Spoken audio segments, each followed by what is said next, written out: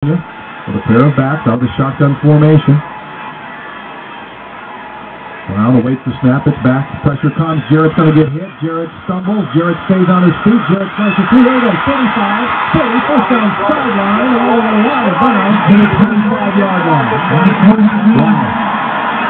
Seven-yard gain for Jarrett Brown, and he has been masterful here at times this afternoon, evading defenders and I'm sure leaving them very, very frustrated.